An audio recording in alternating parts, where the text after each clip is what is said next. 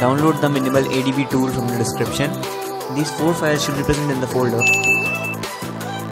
Hold the shift key on your keyboard and right click your mouse in the empty space inside this folder. Now you will see this option for open command window here. Click on it.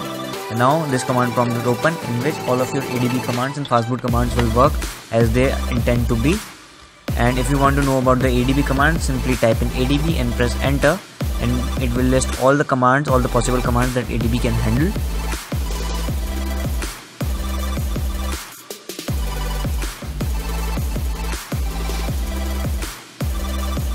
And that's it for this video guys. I hope you solved your issue watching this video. And don't forget to hit the subscribe button and i will see you in the next one